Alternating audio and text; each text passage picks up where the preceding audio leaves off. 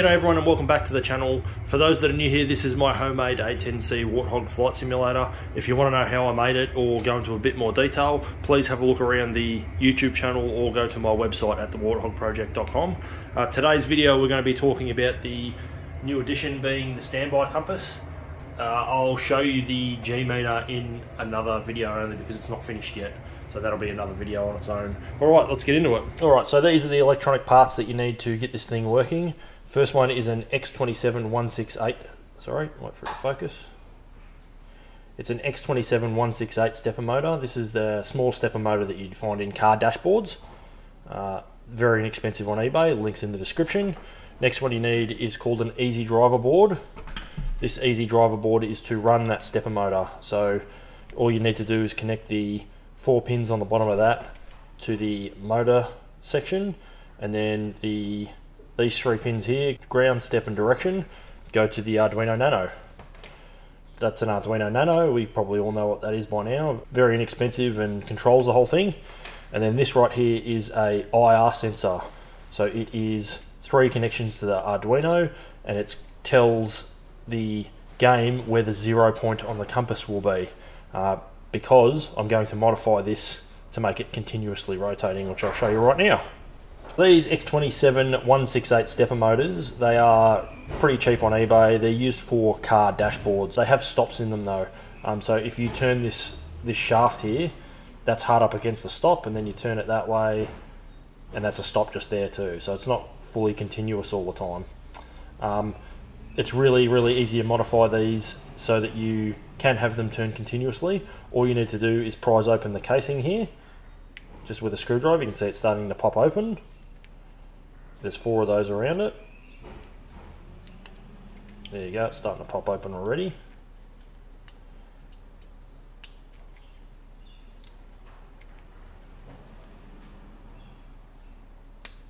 There you go, that's popped off. So now you can take the cover off. That's what they look like inside. You can see on the inside here, this is what makes it stop. So this tiny little bit of plastic on there is in that channel and then that's what makes it stop. So to make it continuous, all you need to do is remove this and slice that tiny little bit of plastic off there with a knife. So I'll do that now. You just got to remove this here very carefully so the whole thing doesn't fall apart.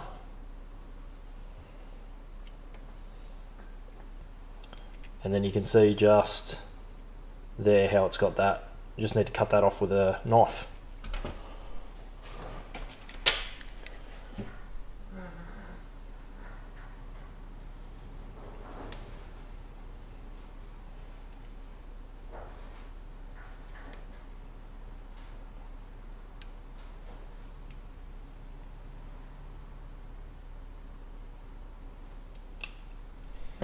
That.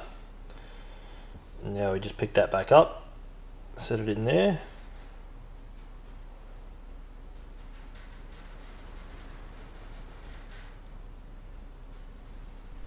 And put the case back on.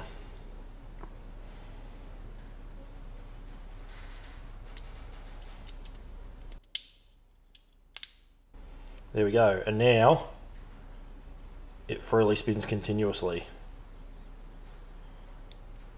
So I'll just write on the back of here that I know it's modified, so it's for continuous rotation, and then we'll mount it. The problem with having it continuous right now is that you need a way for it to know where the zero position is. That's where the little IR sensors come in. What I'll do now is I'll show you the design of it in FreeCAD. So the first part is this motor mount. Uh, again, all of these files will be free to download in, on my website and on the links down below the video. Uh, this is the motor mount. This section here has the motor mounted on top of it. There's a little arrow there just to show you which way is forward so you don't put it in backwards. And then this section here is a uh, Arduino Nano holder. So that's how the Nano clips into it.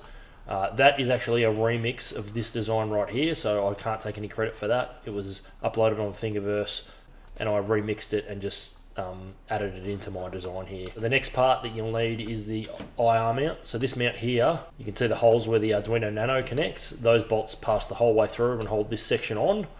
Uh, and that holds the IR sensor, which tells the Arduino Uno when the wheel or the motor is at a zero point. Next part is an LED holder. So I haven't 3D modeled the stepper motor, but it will make sense when I show it to you in a second. That section just there is designed to hold three LEDs in those little things. You can see where the legs of the LED, LEDs go in. So there's three LEDs that backlight the wheel. Uh, and then the next one is the wheel. So that's the actual compass wheel. That will be mounted to the stepper motor. You can see that there's a hole in the wheel just here where a nail mounts. And then that nail that's mounted in there, when the IR sensor that's on this here detects it, it knows that it's at a zero point. And then obviously there is a body that covers it. So that's 3D printed. That's the entire body sort of casing. There's also a rear section that bolts on the rear there. That's where your USB would connect to the Arduino Nano. That's where the two connections for the backlighting fit. And then on the front of the thing, that's what it looks like at the front. Uh, so you can see that all, all, all, the front section here is laser cut. You could quite easily 3D print that if you wanted to, but I just use this, um, use my laser cutter to cut these sections here.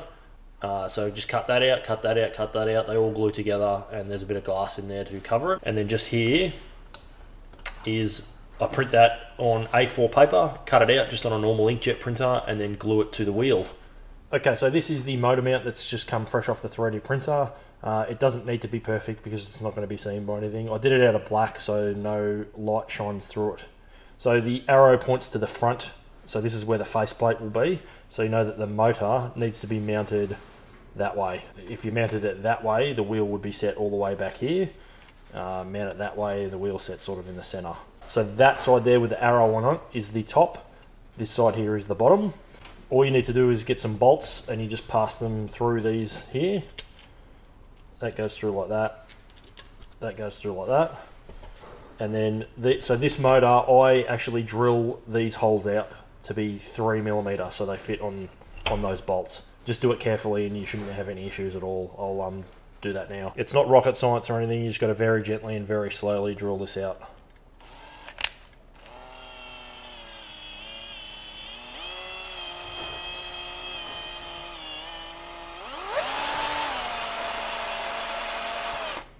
Like that. I'm sure a lot of people are panicking right now, so I'm going to wreck this stepper motor, but I've got about 20 of them, so if one fails, which one has not yet, it doesn't really matter.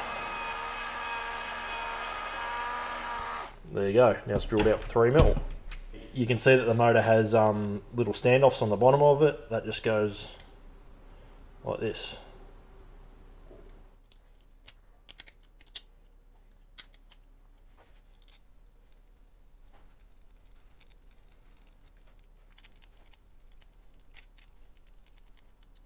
Alright, so that's basically how the motor mounts. You can see that that hole in there is so I can pass the cables through. So once I am finally setting it up, I will solder the cables onto the tabs and they will pass down through that hole and come out to the stepper driver and to the Arduino.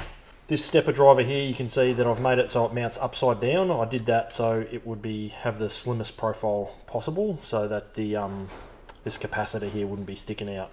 So I've made it so that capacitor will fit through that hole and then just two M3 screws will bolt that on. So it'll be nice and compact.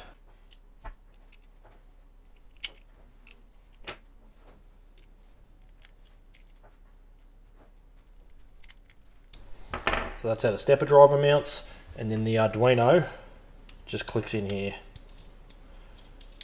It's a nice tight fit. You just got to run two M2 I think they are bolts up through that which will bolt on our IR holder will stay something like that once the wheel's on and then this little IR sensor just gets double-sided taped up under there like that. Okay, so this is the wheel. You can see that it's just 3D printed, uh, pretty simple to do. Ignore all these black marks. I was um, experimenting with gluing a bit of black paper over the top of it, but it didn't really work. Um, so all I've done is 3D print that out of white. Uh, and then printed out that file with the tape on it and basically cut it out and glued it on with a normal sort of stationery glue stick. You can see that there is a nail stuck through it, nothing special, just a little bit of super glue on that to hold it in place. And then that's what hits this um, sensor. So the so DCS knows where the zero point is and the zero point's north. So I've made it opposite, opposite north there. Um, So this is basically the complete thing ready to go. This is the indexer that goes underneath it, so it's run off the same Arduino. You can see how I've just attached some screws in there, basically so it can sit there without fouling on anything. And then I can adjust the height of it so it's straight when it's in the container. Uh, you can also see that, that little 3D printed thing that I did with the LEDs in there. So they the wheel, which just press fits over the top on that, will be backlit by those three LEDs. It's not super bright because of the nature of the black paper. In the future, I might paint this and engrave it. It's a bit hard because I don't have an access to engrave on curved surfaces on my laser cutter, but I have seen one that you can 3D print and make yourself, so that might be the next project I do, and the backlighting will be a bit better. But from all the photos I've seen, the backlighting on these things are really dim anyway. Uh, this is a bit of a pain in the ass to get on straight because you need to get the wheel, if, if you know what I mean. You need to sort of do this as you're putting it on, so you got to put that in there and then push it all down at the same time because once you get the arm that holds the sensor on, it's a bit hard to get the wheel on.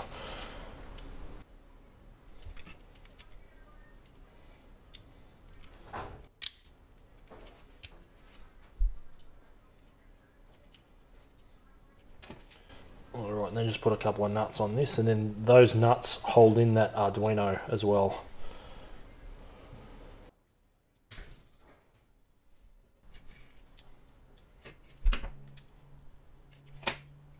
Alright, so you can see how that sort of free spins on the motor there. And then that sensor will tell it when it's at north.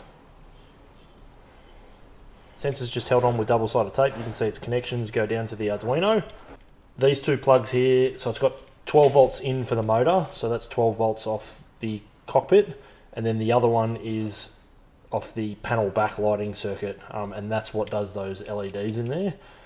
Because I've got a separate panel backlighting circuit for everything else in the cockpit, I decided to run that off that circuit. Um, it would probably be a lot easier if you just connected those LEDs up to the Arduino, because you could definitely power three LEDs off the Arduino. Um, and then it would be sort of a standalone unit. All you'd need is one USB cable and 12 volts in for the stepper driver motor. Um, but I've got two 12 volts in just because of my backlighting. Um, but that's that's just for my cockpit. If you were making this, you could probably do it a little bit separate. So the, the code to run this was not made by me. So I, I can show you the link to where it is. It'll be down in the description below. Um, I didn't do any of the coding for this. I found it for free already to go on the forums. All I did was add the um, lights for the indexer, and also I'll explain to you what the other change that I made. Okay, so here it is sort of set up on the workbench, um, plugged in. All it's got is 12 volt power in um, to run the motors, and the USB cable connected to the Arduino Nano.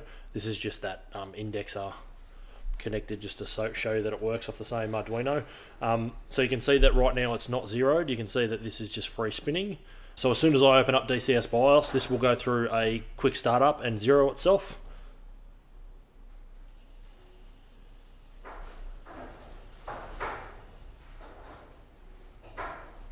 So you can see that because it got a signal from DCS BIOS, it knows to go through a startup procedure, so it zeroed itself. It moved itself till that sensor found the nail, which is the north position, and it's ready to go. Now that DCS BIOS is running, I'll fire up DCS and I'll quickly just jump in the jet and I'll show you uh, that it works in the game. Alright, so the game's running, you can see the inset there and you can see the compass on the workbench. Um, so when I bank the jet, you should see the compass move. Um, so the center point will sort of be here. There'll be a piece of glass with a white line on it to mimic the one you can see. And then when I bank, you should see it move. Warning, autopilot.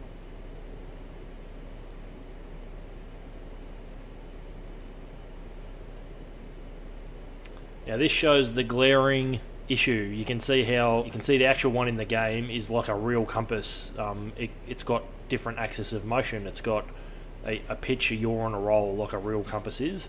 Um, so I I'm getting the data from my compass straight out of the HSI.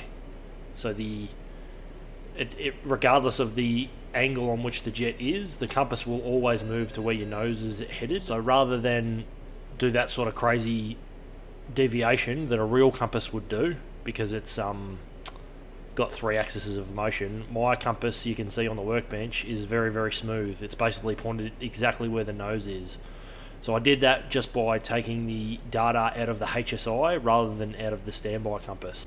So I could get the rotation to match the one in game, but because it's missing the other axis of, of motion, it, it looked a bit weird. It looked like it was broken. Like all of a sudden it would, you'd bank, it would stay still, and as soon as you leveled out, it would go really quick to the next bit. Um, I, ju- I just found, although it's not realistic, I prefer my compass to have a nice smooth motion like it is now. So it's basically pointing to where the nose of the jet is. Now you'll see that when it gets around to the zero point again, it will skip a little bit. So the code that somebody wrote, not me, uh, the link will be in the description. Um, once it senses zero, it will re-zero itself, so you won't get any sort of errors in it. And you'll see that now when the nail gets around to the sensor, and when we start pushing north, you will watch the compass sort of slip a little bit when it re-zeros itself.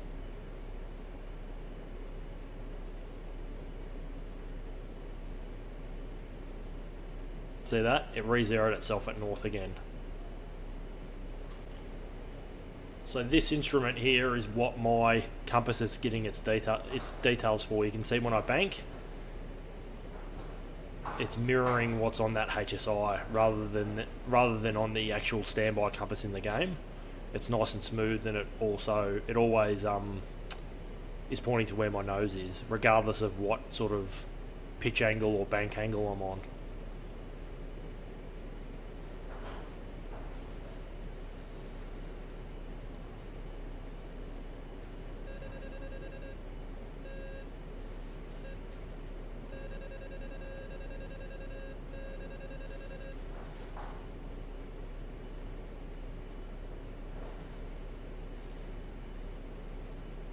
Also, please um, ignore the terrible graphics. I'm in the, I'm on an old ten-year-old computer in the garage. That's why DCS is looking so terrible. This is the case fresh off the 3D printer. Um, I'll use this opportunity now to show you how I finish it. So this is printed at 0.2 millimeter layer height, so you can you can see that it's 3D printed. The way I overcome that is by sanding it, filling it, and then repainting it in black. So what I'm going to do is just sand it with some um, 600 grit sandpaper just to get rid of that ele elephant's foot. You can see there's a little bit of a gap there where it was stuck on the bed. Um, so that'll smooth that out. And then what I do is I just hit it with some acrylic spray putty. The key to this stuff is to spray it on really, really heavy so it fills in all those lines and then sand and paint.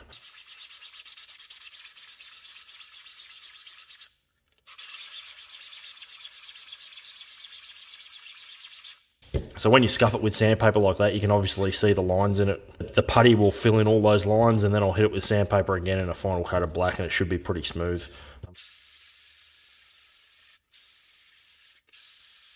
So there it is all sanded and ready for the putty. All I really do now is hit it really heavy. So I'll um I'll spray it, let it dry for 10 minutes, spray it, let it dry, spray it, let it dry until I get all sides. You don't want to hit it on the side because it will just run down. You want to fill in all these gaps.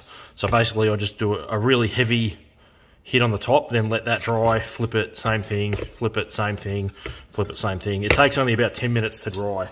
The key to this is it's not like spray paint. You don't want to do light coats. You want to do really, really heavy coats. You want it to be wet so all those gaps get filled.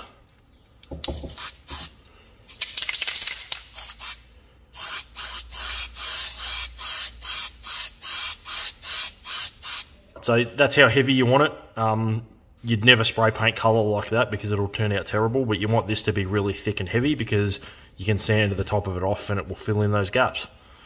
So I don't normally wait for it to dry completely, I just flip it over and do the next side. Um, it's probably set enough now that it's not going to run.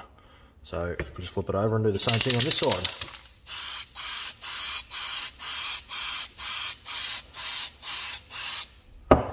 Let that dry. So here it is with the spray filler on it. All I'm going to do now is, again, sand it with 600 grit um, to get it as smooth as possible and then hit it with black spray paint.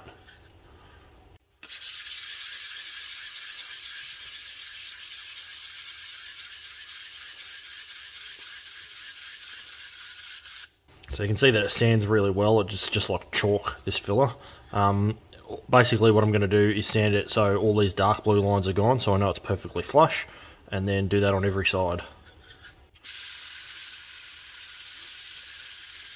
So you can see that's pretty smooth. You can see a line straight there. I'm probably going to hit that with another coat of um, filler just to get that line out. but it's looking pretty good.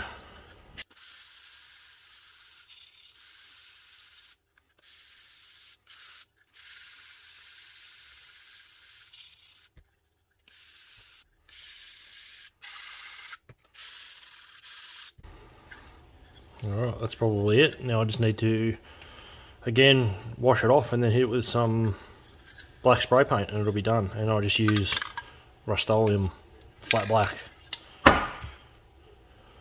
Alright, so here it is uh, painted flat black. You can see obviously the finish is a lot smoother than it was 3D printed.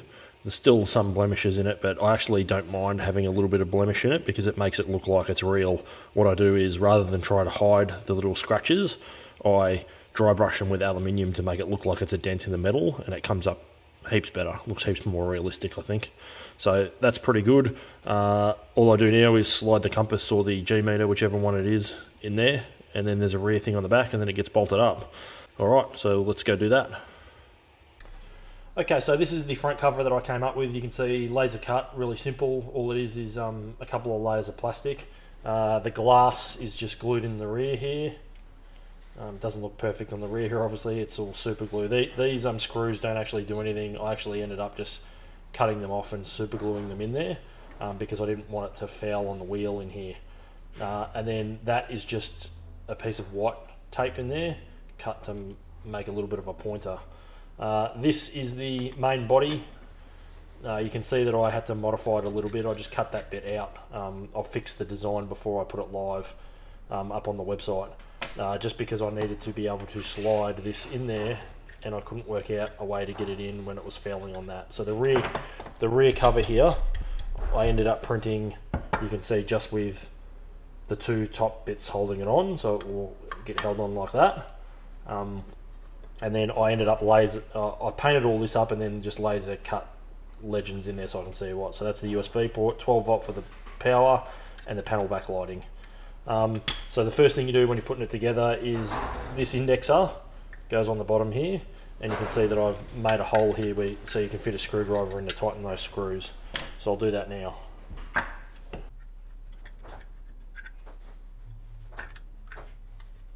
and then all you do now is slide this you can see how it's got those screws on it that just acts as a bump on the floor and then you just slide that in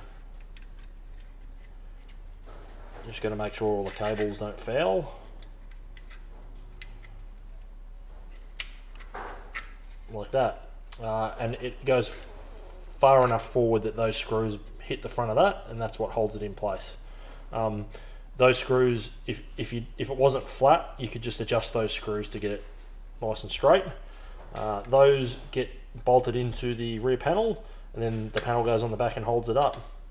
And then obviously the front piece goes on the front like that.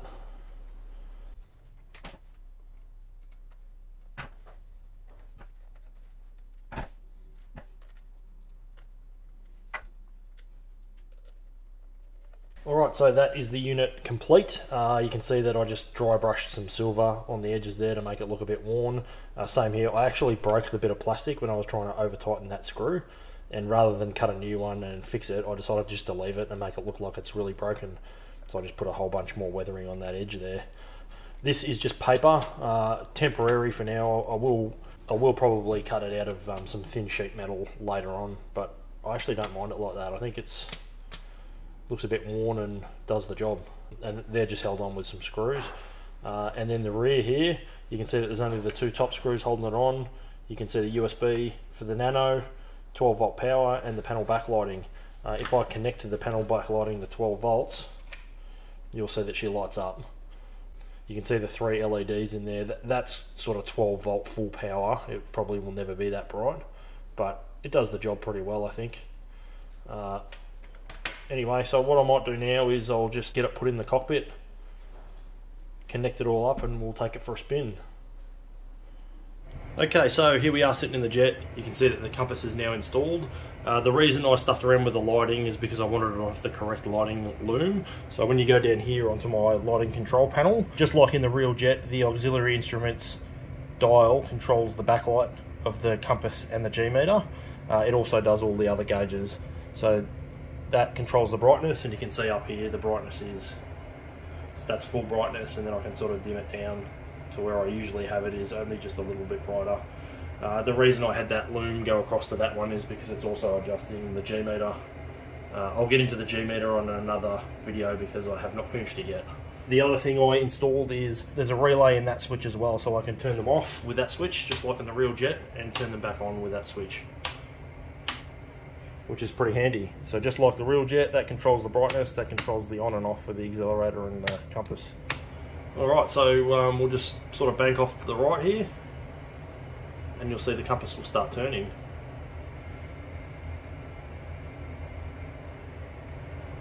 Alright, so you can see that it turns pretty well. It's going off the HSI, as I explained on the workbench, so it's always nice and smooth.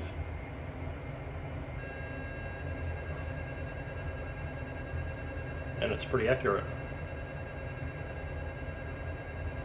So you can also see that when I come down here and push the signal lamp test button, I get the lights on the indexer light up.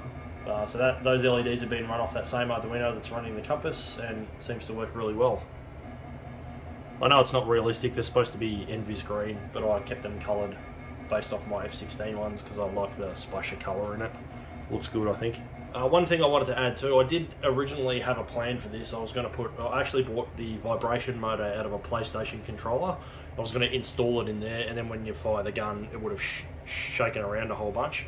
Um, similar to that very famous video going around, you can see this thing just goes to water when the gun fires. But I decided not to do that based on the fact that it's I couldn't fit it all in this small thing. If I had done it, it would have been about that big and it would have looked a bit weird in my opinion. So I, I, just couldn't get it all compact enough in there with enough room and mounted on rubber so it would move around enough. I tried a couple of experiments in the garage and I just decided not to do it. I get enough of a vibration anyway with my butt kicker in the seat when I fire the gun.